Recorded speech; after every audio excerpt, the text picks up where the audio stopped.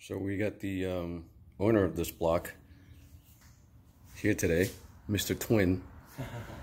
the Twin STI. Gonna be doing a little bit of uh, work on the headlamps, not removing it. Um, you have uh, new ones coming in, right? The headlamps? Yep. So we're just gonna be changing the bulbs. He's gonna be going LEDs as opposed to the ones that he had previously, which um, when it gets hot, the ballast kind of shuts things off. So that's what we're gonna be doing today.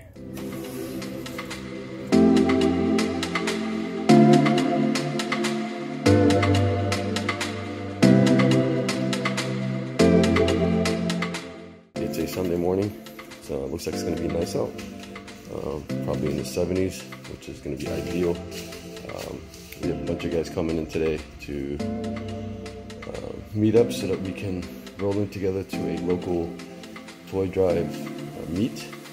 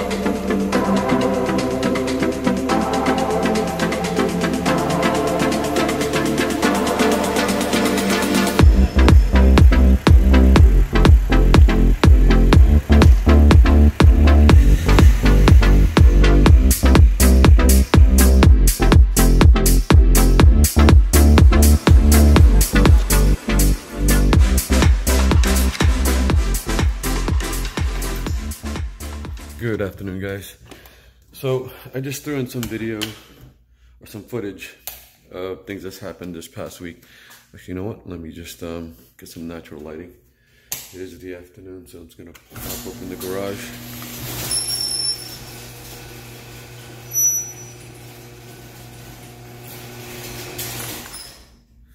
So, yeah, like, like I said, I just decided to just throw in some footage of what happened this past week. There's nothing really, um, in a sense, where I, I, I kind of had it. Um, there's an semblance of a storyline, just uh, because I just didn't have the time to kind of prepare myself. Um, just kind of really been busy this entire week, and I just figured just uh, I'll capture as much as I can. Uh, not much uh, to to to the footage other than just um, it's all car related. But today, uh, what we're going to be doing is we're going to be working on the um, the measuring of what we're going to need as far as uh, new buckets. So let's um, let's get started. Let me get that uh, covering off of that block um, and go for it. By the way, if you guys are looking for additional Subaru STI Hawkeye content, give my buddy Jacob's channel a shot. Uh, I'll put the uh, link up here.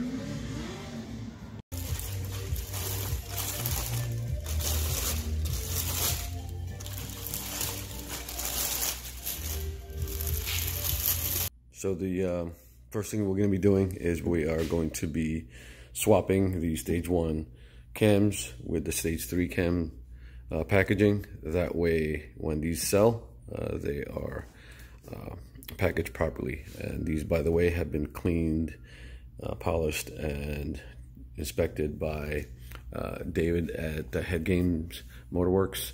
So if anybody's interested, let me know. So, uh, when you open up the box, you should get a cam spec card or spec sheet where this is where you will find uh, the valve clearance uh, that you're going to need for both intake and exhaust side. So we have gone ahead and did the swap. So this is now ready for uh, shipping and just kind of wanted to note that uh, your new set of cams, on, at least on the intake, um, will come with four set screws on each intake cam. And you're kind of wondering what the heck are these for. This is for non-AVCS uh, uh, 2004 and up STI uh, are um, AVCS equipped. So uh, we are not going to be needing these.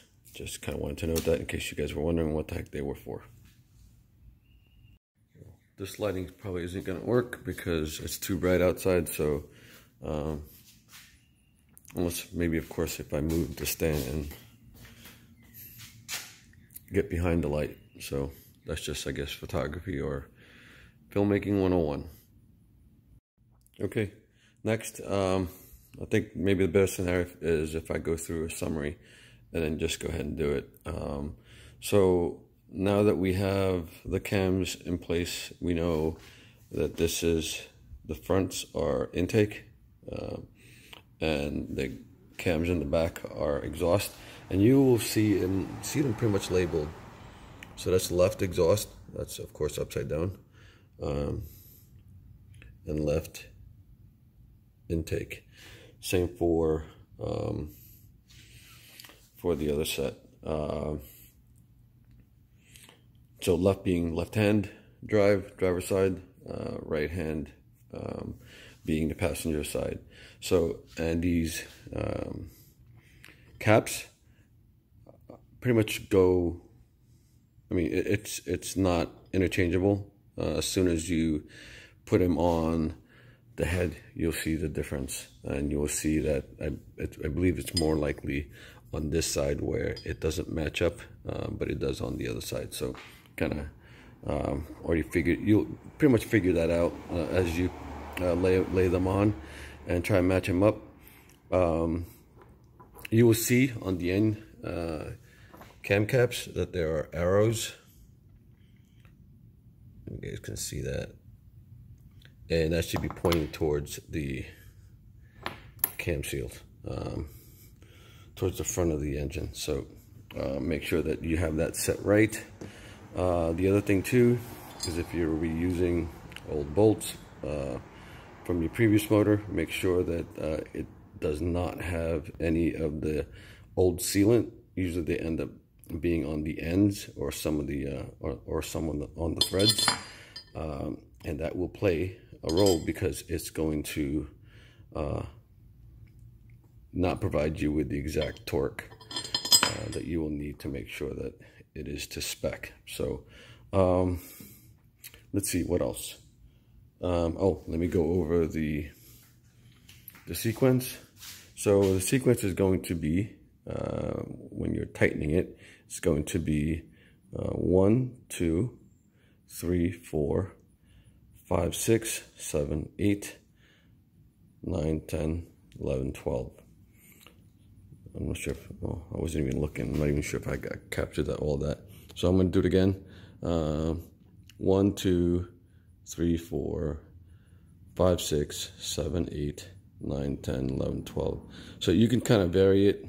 Uh, in essence, you, as long as you start in on the on the inners and then work your way out, inner out, and then or whether it be either way. So that should uh, be the sequence. Hopefully that didn't confuse you guys. And one other thing too is the, the, the journals.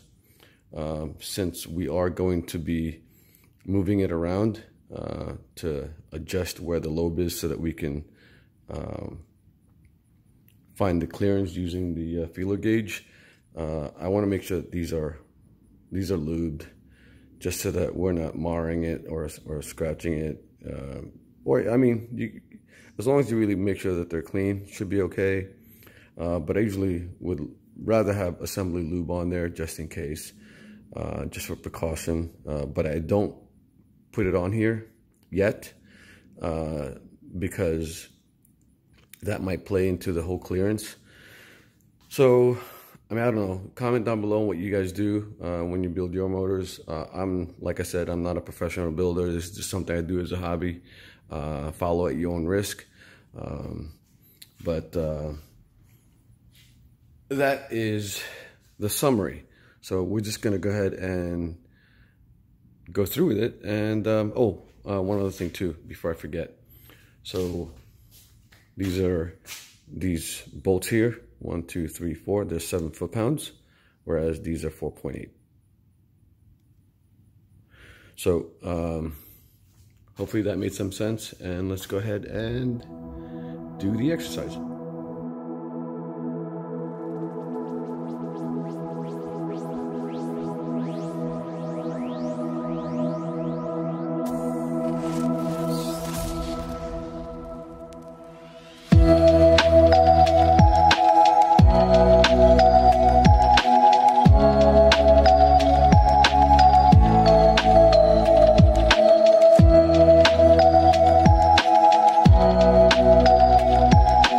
Okay,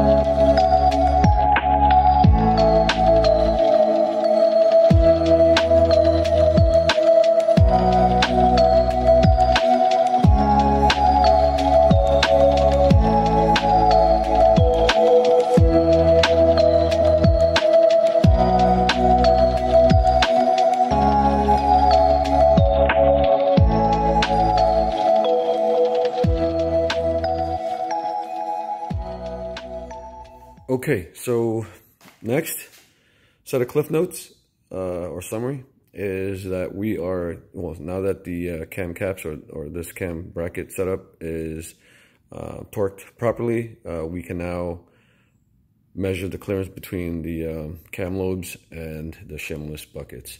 So, but before we do that, we need to make sure our micrometer uh, is uh, calibrated so what I would typically do is um, extend this all the way until it's snug and set this uh, micrometer to zero so that when you need to uh, measure these shimless buckets, you can use them. Well, this is a brand new one, so I can use, use this to verify uh, that it, it is indeed accurate by, so this is 4.6.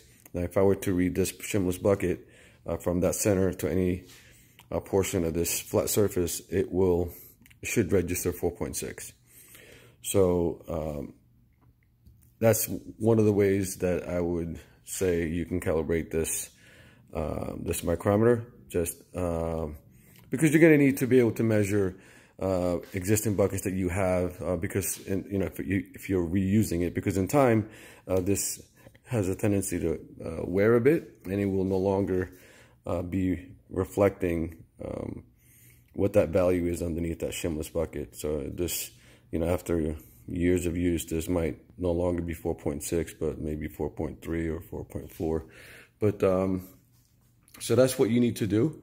Uh, and then once uh, you're comfortable with your micrometer and um, that it's adjusted properly, what you need to do at this point is look at your cam sheet or cam card, cam uh, spec sheet, whatever, and your whether you're using Kelford's BC or um, GSC, you should have some sort of documentation that'll tell you what the values you need uh, to go by. So for uh, the stage 3 Brian Crower uh, that I'm using, it needs 8 1,000ths uh, clearance for the intake side and for the exhaust is 10 1,000ths. So then you gra grab your feeler gauge and um, check the distance between the lobe and the shimless bucket um, by measuring like so. But before you do that, oops, uh, you need to make sure that um, that your lobes are in line with the shimless bucket. So considering that these aren't fully vertical, I'd say, I don't know, um, maybe 15 degrees. Um, basically, you need that center line to line up with the center line of that bucket so that you can get the uh, lowest point and get the accurate um, uh, clearance uh, and, and, be able to gauge it uh, properly and get the correct value. My recommendation is to jot everything down. Make sure that you um, put on that piece of paper the orientation, um, whether it's intake also uh, or exhaust. That way you're not lost and you got a nice list of what you need uh, to purchase. And I think in my case, considering that uh, the intake is all 4.58 on both heads and the exhaust is 4.6, I doubt uh, I'm I'm gonna have um, something like that consistently. Uh, so anyway, uh, being that they're 25 to 30 bucks each, uh, looks like there's going to be another expense uh, for me. Uh, but it is what it is. But let's go ahead and measure this side of the head and see what we come up with as far as values. So I don't know if this is a tip or not, just uh, real quickly. I like to work my way from using a thicker um, than the specs uh, that it's calling out for. Start out thick and then work my way down uh, until I go from um, can't go through, can't go through, uh, snug, and then loose. And you know at that point that if it's snug, uh, that's the value that you need to uh, take and, and use for your calculation.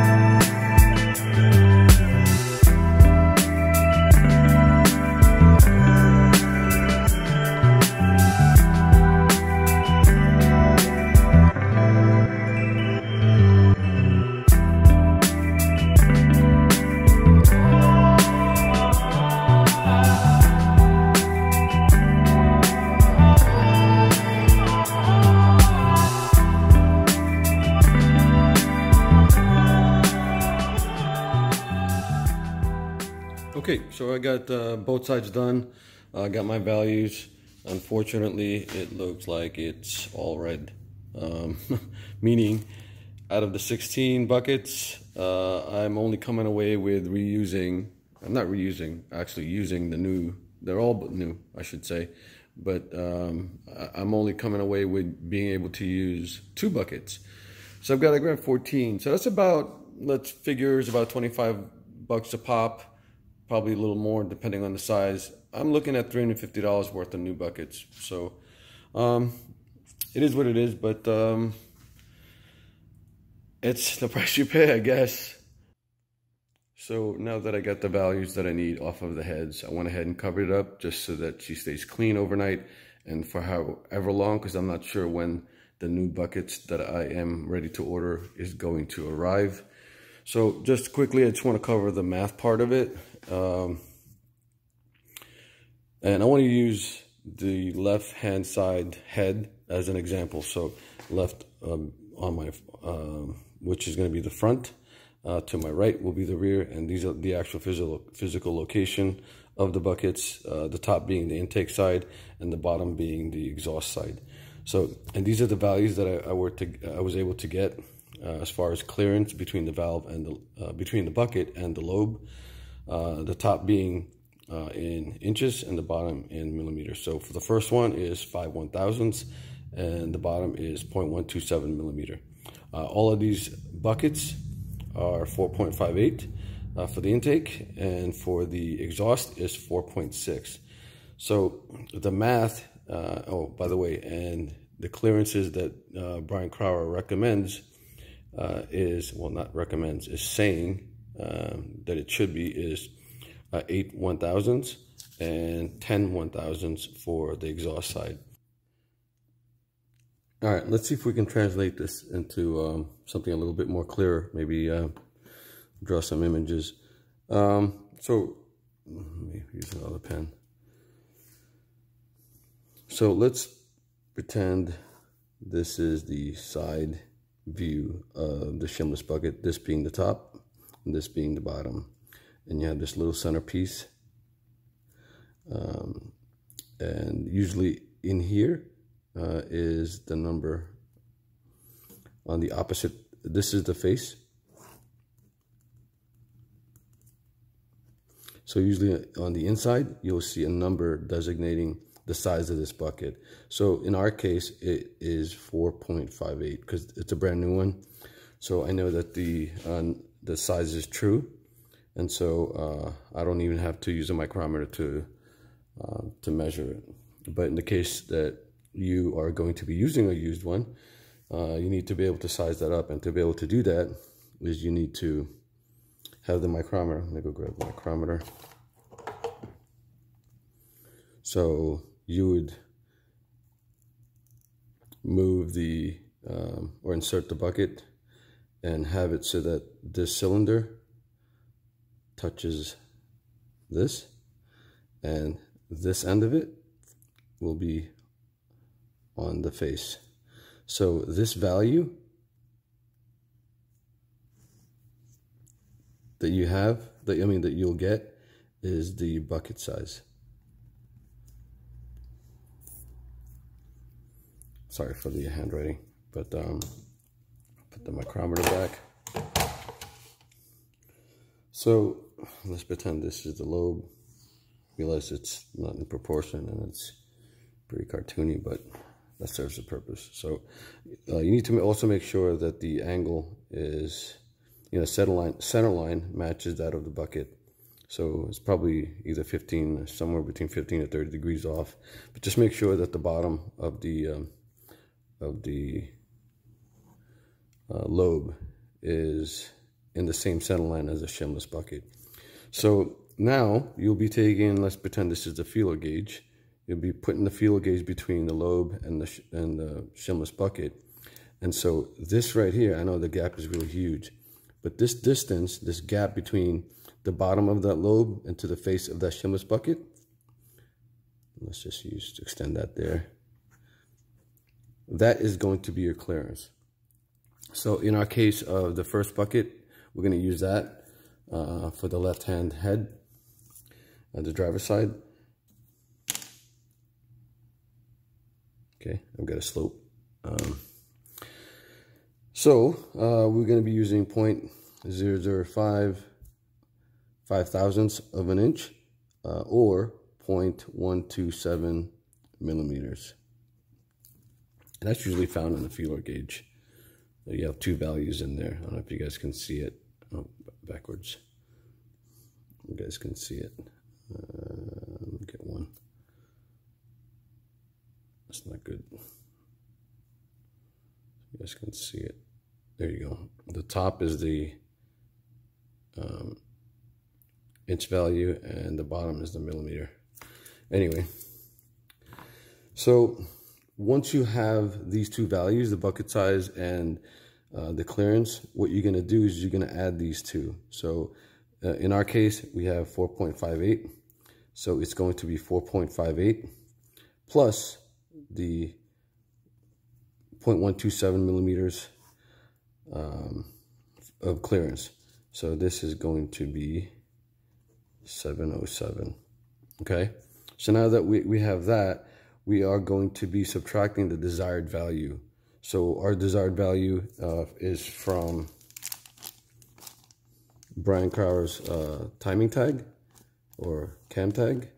Uh, and it's going to be, we're going to need a millimeter value. Uh, so it's going to be 0.203 or 8 one thousandths for the intake side. And that's what we're doing right now, uh, is the intake. So we are going to be subtracting 0.203. So we are going to come up with, um, what am I doing here? Um, so it's going to be 4.504 uh, rounded off. We're going to be looking for a bucket that is 4.50. Uh, and so that's pretty much it. And we're going to be doing that for every single bucket. So it's the same formula. But anyway, hopefully that helped you guys out. Uh, if you have any questions, uh, you know, just comment down below. Um, and I don't know, maybe, um, hopefully I get those buckets uh, in soon enough. Uh, hopefully that's not another case of COVID where everything is, all the resources are shot and things are going to take long to arrive. Uh, I'm already waiting for the uh, intercooler um, set up on, on this build and it's been since early May and I'm still getting notifications as of yesterday that it'll still be eight to 10 weeks out. So um, I don't know. I don't know if, if, if I'm going to be able to get this thing done uh, before fall. I was kind of hoping that I would, but well, it's the way it goes, I guess. Um, so hopefully the next, uh, the next, oh, by the way, forgot to tell you, um, went ahead and went to the dealership and picked up all the necessary gaskets uh, that I have because I, I had um, uh, had the time. And uh, once I get the buckets, get everything placed back, I can put the valve covers on and I could start working on for the next session the um, water pump and the oil pump. So it's coming along. I know it's taken a bit of time and it's been almost two years or over two years uh, and I really can't wait to get her running. Um, I, I, I, would really love to get her running. Uh, I'm at a point now where it's, um, I don't want to kind of rush myself, but I'm, I, I'm kind of at a point now where, where I'm so anxious that I'm trying to rush it. But um, one of the better things is, I guess, the whole idea that things are, are kind of taking its time to get here uh, after ordering. So it's probably keeping me humble and keeping me straight and making sure that I do things at a at a good pace where I'm not rushing to um, and making mistakes. But anyway, guys, I, know I'm rambling, but uh, hopefully that uh, kind of helped out. And um, see you guys on the next the next session. And as always, be kind, stay humble, and if you like this video, hit subscribe and shoot the like. Thanks, guys.